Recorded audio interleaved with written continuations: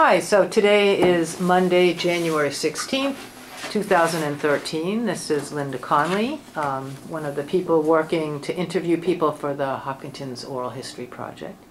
Um, I'm here at the Senior Center and I'm with Karen Adelman, who has lots of connections to Hopkinton families of the past. And um, so this information is going to be part of the town's memories. Um, and again, this is sponsored by the Historical Commission and the money from a, a grant through um, historical, the, H, the historical preservation is making this whole thing possible. So we're happy to talk to you. So um, can you tell us about your time in Hopkinton when you, when you first moved here and when you lived here? When I first moved here, we, we came to live with my grandmother who lived on School Street. She was part of the Cheneys and there was my grandfather and grandmother, Laura and Melvin Cheney. But you're gonna need to tell us been- what year, what Oh. year is this, yeah. Would have been about maybe 1943. And because I was born in 40, so I can go by my age. and uh, they had a big apple farm, and then just down the road was the Kimball area.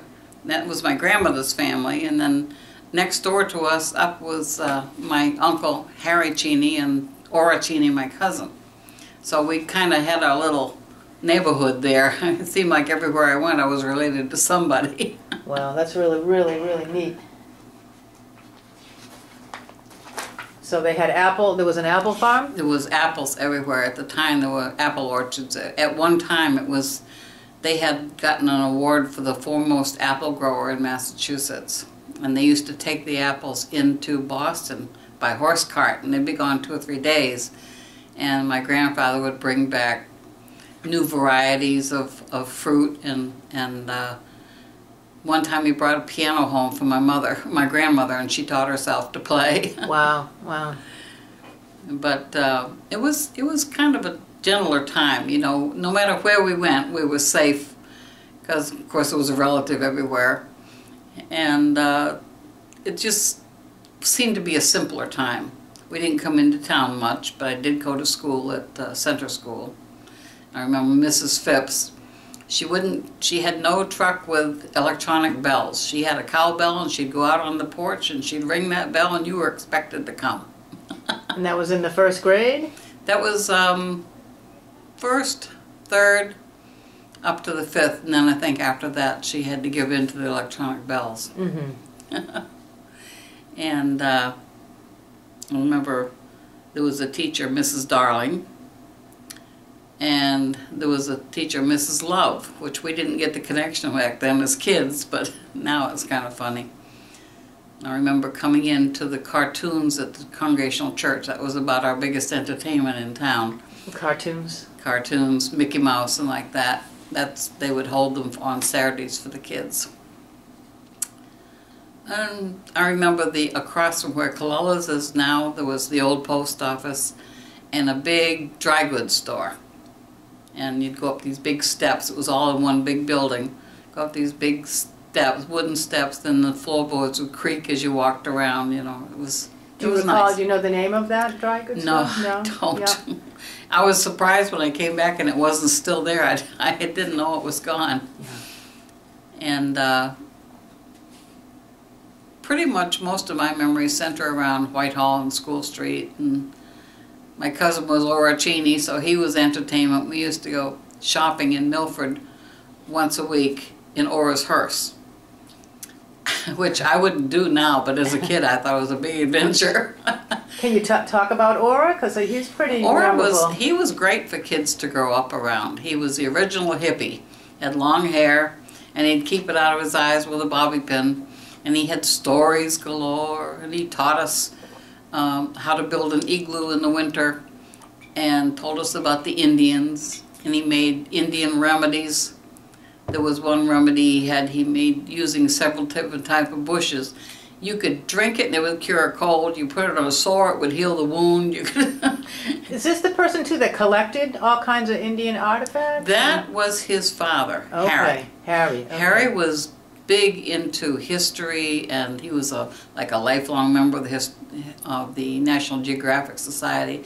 In fact, they came to his funeral, And but he had this big long shed, the big old apple house, what they used to store apples. Wow. And it was just lined with cases.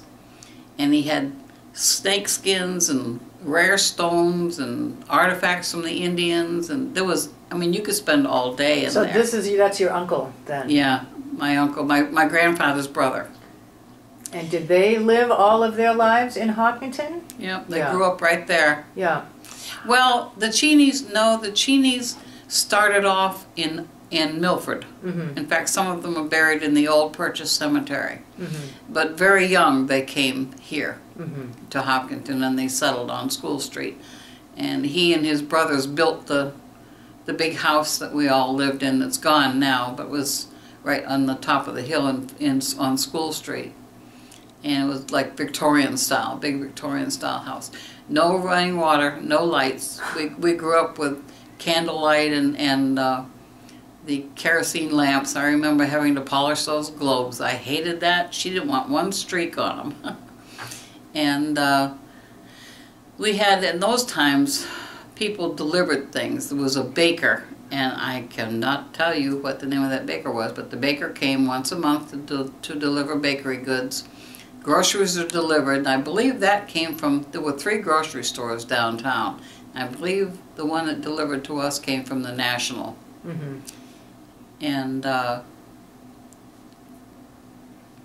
um, it, it was just a great time. Lehman's, uh, Howard Lehman still owned the farm up there, and his cows would come up in pastures near us. And my cousin Gail and I thought it was great fun to go down and put the cows in different pastures so he couldn't find them. Until my grandfather caught us, and then we didn't do that anymore. he was the gardener for Lehman Yeah. for years and years. I can remember him saying that he never said he got old. He always said the hill got longer every year. I swear they're putting more miles in that hill. and uh, But that's what probably why you didn't have to go to the town that much. If people are delivering what you needed. you yeah, know? yeah, we didn't own a car. We Ora took us into Milford once, once a every two weeks or once every month, something like that. And uh, one of us kids got to go each time. We took turns, and there was um, nine of us at one time staying at my grandmother's in the mid 40s. It was when housing, I guess, was very hard to get. Our parents were working in other towns, and, and uh, so we all grew up together. Even though we were cousins, we grew up like brothers and sisters, and to this day we think of ourselves as brothers and sisters. And uh, but my grandmother just, you know, she did her ironing with the old irons that you put on the stove and heated up, and uh, scrubbed most of the clothes on a scrub board. But I can always see her sitting and writing poems. She wrote a lot of poetry, and uh, she she loved to write. So what was her what was her name? Laura, che- Laura May Kimball Cheney. So she was a Kimball. She was a Kimball. name was a Kimball, Yeah. and that's that's an old. Yeah, yeah, about uh, maybe four or five generations. yeah. They started off in New Hampshire and Vermont and moved down here. And uh, we used to take long walks. They were great about teaching us about the flowers and the different animals and that there were. And uh, my grandmother would make rag dolls. I can't remember ever having a bought doll. But we never thought of ourselves as poor. And uh, I was pleased that when I came back here, you know, maybe about 20 years ago now, during the marathon, I went down to have breakfast at the center school, and the cafeteria was almost exactly like it was when I was there. so it made me feel at home. and, uh, oh. Oh, Brown and Smith's ice cream. They gave you the biggest ice cream cone. There was Where- no where way. was that? Brown and And what- That's yeah. where um, the pizza place, Bill's Pizza, is now. Okay, and so what kind of a store was that? It was supposed to be a drugstore. Mostly we thought of it as an ice cream luncheonette. Yeah. It was a U-shaped counter, and you could sit there and have lunch or coffee or whatever. It was a meeting place. and this is again met like there probably there in the 1950s. Do you know how long it was there? I, it was there in the 40s, I know, possibly the early 50s. Yeah. But I wasn't living here in the late 50s, so I'm not sure Mm-hmm. Where whether it was there or not. But everybody went there for ice cream because they gave you the biggest serving of ice cream. They never weighed it out. They just dipped it out and gave it to you. And it was someplace, if we were somewhere else and we wanted ice cream, we went to Brown and Smith. Came into town for that. And uh, of course, the uh, I can remember School Street was a long street. It started up uh, up almost up to the nurseries that are there now. And then we would take our sleds and we'd take a running leap and we'd slide all the way down School Street, all the way down and on to Pond Street before you started slowing Wow. down. Wow. And no cars hardly then at the time, you know, you could slide without any problem, and you'd walk back up. And these days I'd be complaining, but back Yeah. then it was fun. Yeah.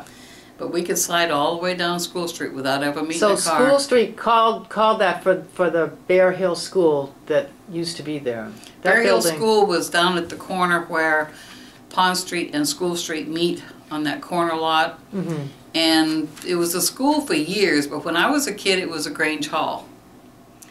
And we, my grandfather took care of the Grange, the, the hall, and so I would go down with him before every meeting and I would help him heat the place up and sweep it out and open up the windows if it was during the warm weather. And everybody would go. It was a, it was a meeting place. Everybody went. We had square dances and strawberry socials and corn huskers and when the people when the adults were having their meeting, we kids would play, run and play around outdoors. And uh, sometimes we'd sneak into the kitchen and sit under the table while the ladies were cooking and get a little bit of extra snack. But we looked forward to those times. Everybody would come. So that was the former schoolhouse that then turned into a grain. Do you know what happened to the building in the end? It burned. It did burn. Yeah. Yeah, I have burned. seen photos The of the school had yeah. burned and they rebuilt it, and then the Grange Hall burned. And uh, unfortunately, a lot of buildings back, you know, they used to burn a lot Yeah, because there was a wood stove in there, and if it was an ember or something, yeah. you never knew. So that's a grandfather, a Cheney again. Cheney, C H E N E Y, right? Yeah. Yeah. Yeah, and so we went, and then uh, I can remember the square dances, and we used to have a lot of fun there. A lot of fun. Everybody would come. I mean, we, relatives would come from far off. Yeah. If they knew there was going to be a Bear Hill reunion, they'd come from many states away to attend the reunion. And that went on for years. And uh, Did everybody from Hopkinton come, or was it that se- that section of Hopkinton? the section of? Hopkinton, Yeah. anybody yeah. that had been born or raised or lived in on Bear Hill, that was a Bear Hill reunion, they all came to that. And the Hopkinton Grange was up on Hayden Row where the Hopkinton Historical Society is now. So they did their own things over there. Yeah, it was it was a f- community. Yeah. Sometimes we would interact with Woodville, but mostly it was it was pretty much their community was partway down Winter Street and up School Street to even Spring Street was included on it because some of the people had And did you refer to it as Bear Hill? Did Yeah. somebody said where you, where do you live? Yeah, You'd Bear say Hill. Bear Hill. but we always spelled it B E A R. And since then I've heard it spelled a dozen different ways, you know, depending on who's doing it.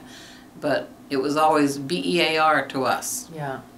And uh, actually, it probably should have been B A R E because it was named that way, my mother said, because they had a big storm and all the trees were mowed down on it. There weren't many trees, but when I was there, there was a lot of trees. But uh, we could we could wander almost anywhere up there. There's all where the big houses are up there now was just Woods. woods, Yeah. land, yeah. And a lot of Woodlots. streams, right? Because it's Yeah. a very wet town. There was uh, springs, several right, springs. right. In fact, that's what we drank was spring water, and there was a spring just above the house where we kept our milk and eggs and stuff. And we'd go up there and fill up a pail of water and bring down what my grandmother wanted. And it always ran fresh and clear. It was nice. And of course, there was a pond hole and the lakes and different things. So Sounds sounds so rural, huh? it was. Yeah, It was. It yeah. really But was. still not far from from Framingham, which would have been, you know. But the funny thing is, people up there have always shopped in Milford, not Framingham. Milford or Westboro, but not Didn't Framingham. go in that. Didn't Framingham like, was, was like a foreign country, Yeah. but Milford was almost like part of them. Yeah. Yeah. And uh, it, I can't, in fact, I can't remember knowing, to me, Framingham was that far off place that had a theater and stuff like that. We didn't go there very often until my dad was in the service in the 40s. And he had an injury and he was at Cushing. We used to go to Cushing to see him, but other than that, we didn't go. And then he drove the B&W bus line later, so we'd go over. But usually it was just Milford and Westboro and Hopkinton. Yeah. yeah. That sounds like a great life for a kid. It was. It was a wonderful life for a kid. It really was. And uh, we didn't we didn't have a lot, but we never thought of ourselves as poor. I remember my grandmother used to make peanut butter marshmallow fluff sandwiches, and I'd take them to school, and everybody else would want to trade their lunch for my sandwiches. so I never I never thought of myself as being poor at all. Yeah. We just But then you so then you left and you came back.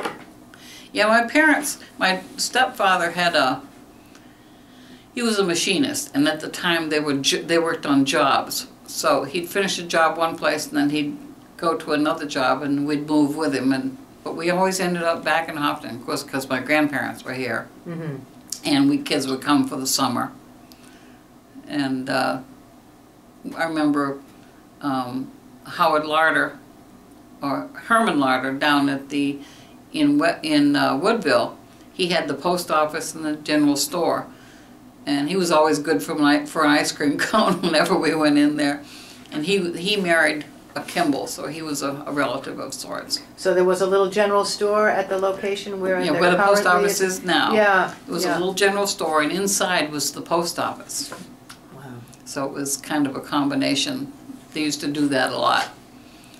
And uh, we'd, we'd play, we'd go, to, we went to the Woodville Baptist Church, so we were down there a lot. So there was a lot of interaction in that area. And I can remember the lake has always been in my childhood. Yeah. I, my aunt remembers when it wasn't there because it came along about 1897 or something, I guess.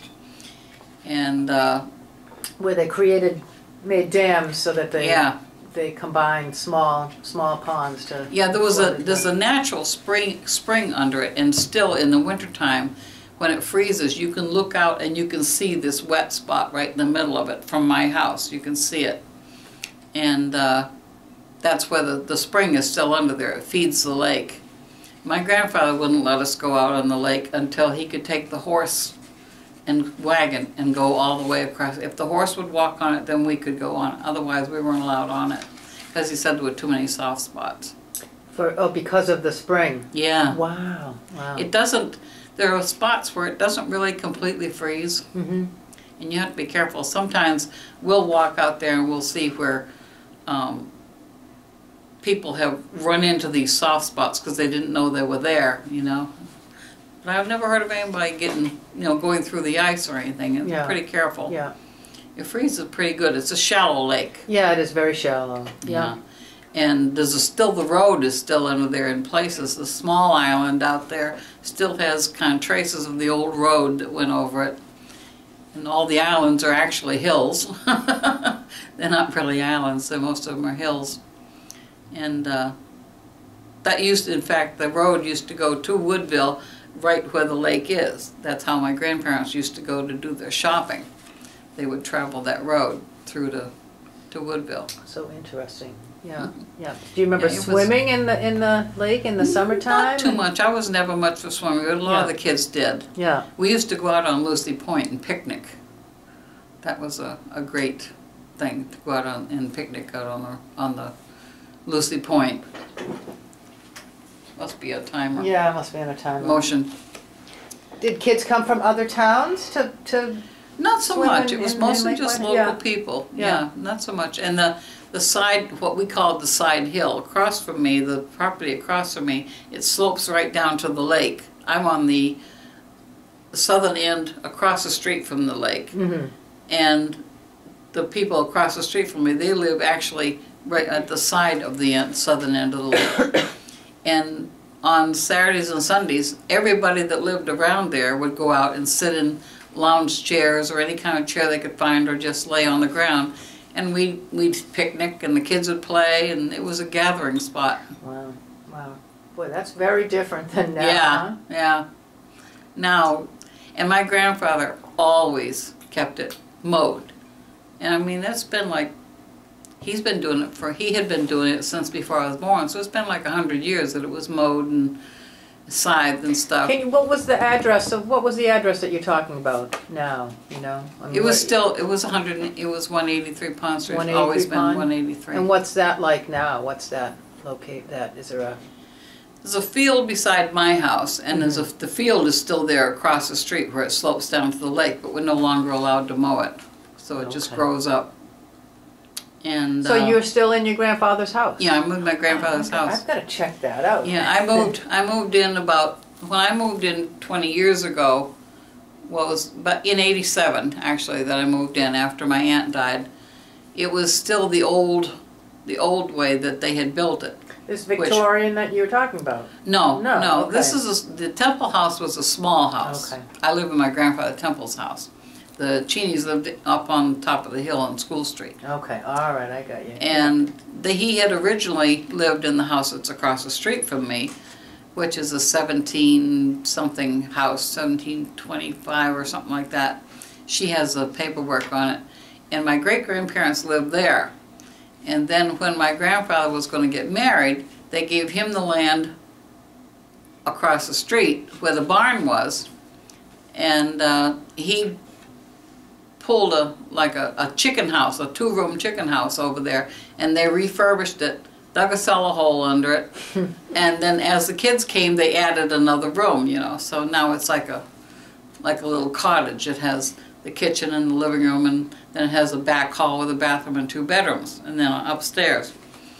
Um, and the house has gone several makeovers through the years. And then my my husband came along and he completely renovated it because you could walk across the living room floor and the furniture would rock. and, but uh, my grandfather was a woodcutter, Grandpa Temple. Mm-hmm, He was a woodcutter, and he used to go around and he would graft people's trees so they would produce fruit because apple trees and trees like that they had to be grafted in order to produce fruit. So they would plant trees and he'd go around and because I found his journal wow. where he grafted so many trees for Lehman and so many trees for this neighbor and so many trees for that neighbor. And a lot of times, instead of receiving money, they'd barter for butter or eggs or whatever they had, milk, whatever they had on the farm. And uh, the women would bake bread, and they would have always have eggs that they would trade for things. So gra- is that when you, I mean, cutting it, trimming it? Is that what grafting is, or grafting bark? They is it? they Yeah. graft a small limb. Yeah. They cut into it and they affix it in there, Yeah. and it becomes part of the tree. And I don't know why it works that way, but it's the old method of because if you just buy an apple tree and it hasn't been had anything done to it, it won't it won't produce. Yeah, You have to graft it, yeah. Oh, that's very interesting. And I don't know at what point, Yeah. you know, what age you yeah, do, but or how it's done. Yeah, very interesting. Yeah. Yeah. It was, it's funny that, you know, the place still had the old corn crib where they kept corn and stuff when I moved in there and, and as a relic from the older days, my aunt never tore down the old outhouse, so it was still there. She used to say she had the best view in, of anywhere because she could look down over the lake. my husband got rid of that. But uh, it's it's always been kind of familiar. Even if I come home in the evening now, it's it's like I'm going back to the old place, you know. So it, it's it's been nice, and That's pretty special. I don't think there are a lot of people around today that can say that they, you know, they have that connection to a place. yeah, You know, yeah, connection probably to not, Their, to you know, going back Yeah. generations. probably not. Yeah. Yeah. Yeah. Now the place at the that sits at the intersection of school and pond, where the where the Loves live, where or I guess um, yeah, well E- Evelyn Love still lives there. She and her family. Bruce Carlin is her husband. So oh, okay, the moderator. yeah. and they have well, about eight kids. Yeah. and uh, that was the house that my grandmother was born in, my grandma Kimball. Grandma Jeannie, who was a Kim- Kimball, she was born in that house. That's amazing. Yeah. And uh, they've done some work on it, but it's it's pretty much it looks just like on the outside, pretty much like it did back then. And uh, Corner of Pond and School. yeah, Yeah, I gotta check that out too. yeah, it's right at the intersection. School runs right into Pond, Yeah. Yeah, and uh, so that's that's one of the oldest houses in the area, and uh, also the one where the Yankees live. That's an old house. When I was growing up, the house where the Yankees live and the house where the Carlins live, and then way up at the end, the farm where um, Apple the Sweet Apples. Sweet Apples live. Seventeen forty, I Yeah. went by that house That was the, that's yeah. where my grandfather worked. That was Lehman's Farm. And he was a Boston banker and he had bought that all the way down on that side of the road, all the way down to the lake. And then little by little he sold it off. He went bankrupt somewhere along the way, Mhm. came home and lived on the farm for quite a while. But um, when I when I grew up, none of those other houses were around. Just the farm and the Yankees' house and my house and the one across the street from me. Yeah. And yeah. the, the little house that the Pines still own, but they don't live in it, the little house next to me, that was built by my uncles, Uncle Bert. so it was like, you know, you, any direction I went, it was always, a relative always knew where I was, you know, so you couldn't, you couldn't get away with anything. So that Sweet Apple Farm, the house that I'm aware of on Pond Street, so what did, what kind of a farm was that? It was a dairy farm, Dairy? yeah, So cows and cows Yeah. and chickens? dairy farm. Yeah. And then he owned the place where the Yankees live now. And they had great big vegetable gardens down all in back of the house. Those huge vegetable gardens with um, blackberries and raspberry bushes built around the stone walls. That was always a farm. And then the place where the Loves lived, you know, that's. And then long in later years, the little house where Sally Almy lives was built by a family called Coit. C O Can I you T. describe where that house is, since, you know, we might not know? The, yeah. as you come down to Pond Street on School, if you take a left, the first, it's a little dark house. The first house on your right will be that one. That's Mm-hmm. Yeah. where Sally lives. Yeah, And that was built by a couple named Coit, and they were world travelers. Coit? C-O-I-T, Coit. Okay, And the house has always been a dark color. They had it black, and Sally has prom- has painted it kind of a reddish brown. Mhm. But um, they were they were very good. I remember them always as being old. I don't know. They must have been younger at some point, but I remember them always as being old. And they um, they would travel everywhere. In fact, I think in their 80s they were still hiking mountains in some place. Um, but uh, it was you know you didn't see much of your neighbors until like if something happened, they would everybody would converge and help and Mhm. and pretty much they're still about the same way because Mhm. a couple times we've had medical emergencies or something and they just come out of the woodwork to yeah. to yeah, help Yeah, so it, it was it was a wonderful place to grow up wonderful and to come back, right? I mean, it's Yeah. still, it's still Oh, yeah. lovely there. I you know I walked I guess I looked like my parents and I came home and I walked into the bank and right away two of the women said I know who your parents are and of course I worked for Dr. Love and a lot of his patients were I remember Albert Aronian who also grew up on Bear Hill he came in he said I took your mother to the prom That's funny, that's funny. so uh, it was it was I like Dr. coming Love, home did again. Dr. Love come to your house? He, when I worked for him, he was still doing house calls. Yeah, and that was in the late 80s. yeah, And eventually he, he did stop taking house calls, but uh, back, way back, yeah, he did. Yeah. All the doctors did. right. they all made right, house calls. Yeah, yeah, You know, when I was a kid, they I can remember them. My folks didn't have the doctors too often, but I can remember when they needed it, the, either at the neighbors or theirs, the doctor would come. yeah, yeah. And that's, you know, of course they can't now, they've got so many patients, they can't get away. But it's, that's a medical association thing too, they just Yeah. decide, yeah, doc, yeah, Yeah. they're not allowed to, yeah, yeah, wow. Yeah, I know Dr. Love had to stop. He's, but he he always he he'd reserve one day when he closed his office early and he'd go out and do his patients that couldn't get in. So, you know, In fact, when I worked for him, he st- would still take a bag of apples as a copay. They'd bring chickens and tomatoes and apples and all kinds of stuff into the office. We ate well. but um, it was it was a little more casual and relaxed back then. You know, it was. And Far I- less traffic, huh? That, That's the thing about Pond Street now, those narrow, narrow winding roads. And people who live there must be accustomed to, accustomed to the road yeah. and they drive And in the real wintertime, fast. it's like one lane wide. Yeah, I know, I know, it's scary to drive around Yeah, there, but it but must it- have not been like that because there weren't so many cars. Well, when I was growing up, it was a dirt road. I remember it as a dirt road. That'd be a problem in the spring, both- right? Both School Street and Pond Street, I remember being dirt roads. And, uh, but yeah, there was there was very seldom. We'd be waiting for the bus out front because you never knew when it was going to come. The only time we ever took a bus was when I lived up there on on um, School Street, and uh, we'd be waiting for the bus, and we'd be waiting out in the middle of the road or sitting and playing or whatever.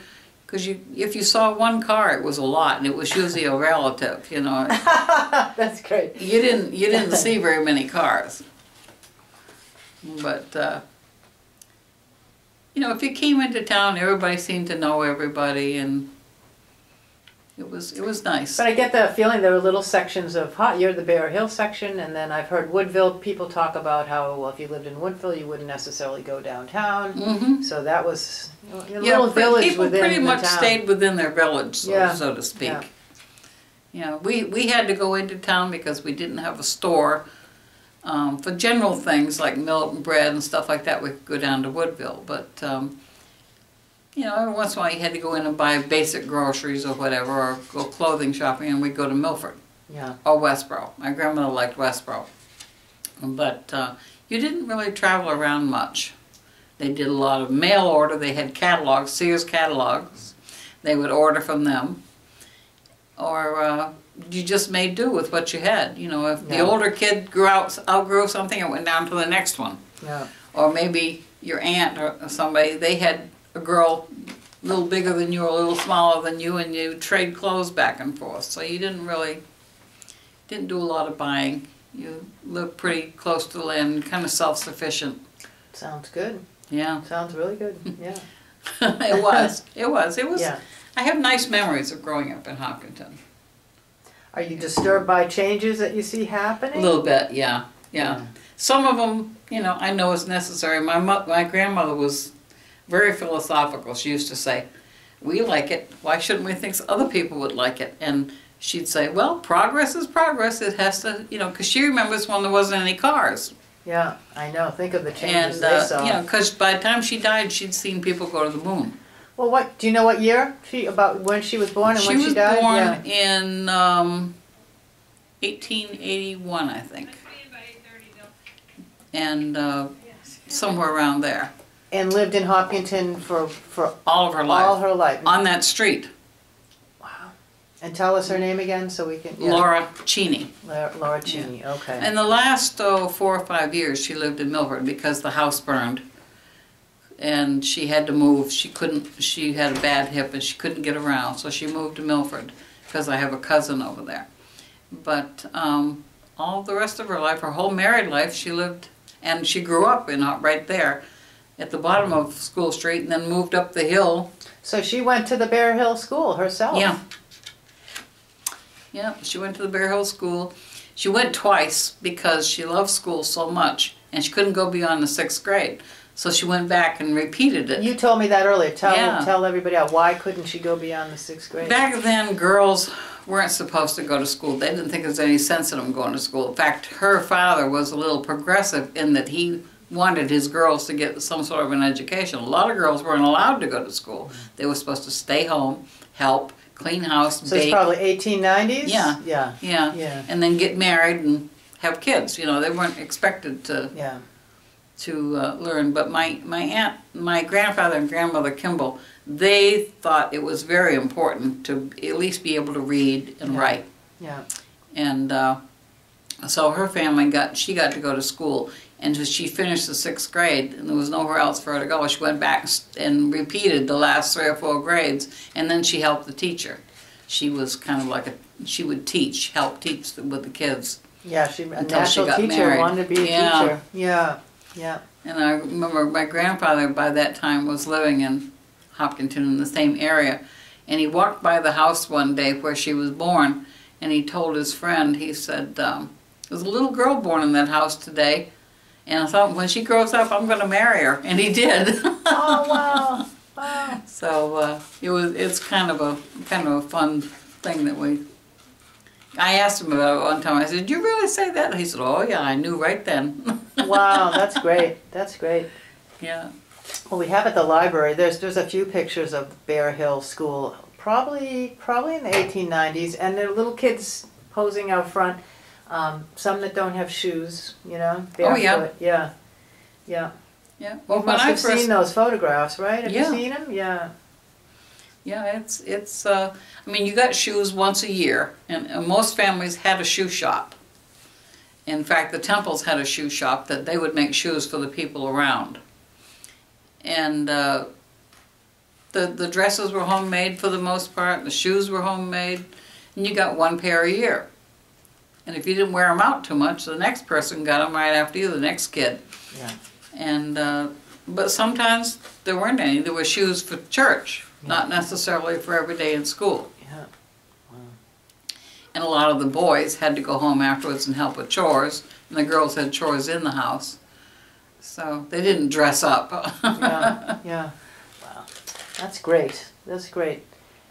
You think we're done, or do you have more? I, I think so. Okay, know, I- it's, it's I- funny when you're talking to people, you remember little things. Yeah. But Yeah, yeah, we could probably keep going. you know, I could help you remember. Yeah, But I, I really appreciate that you talked to us, Karen. oh, It no was, um, problem. Yeah, connections to the past.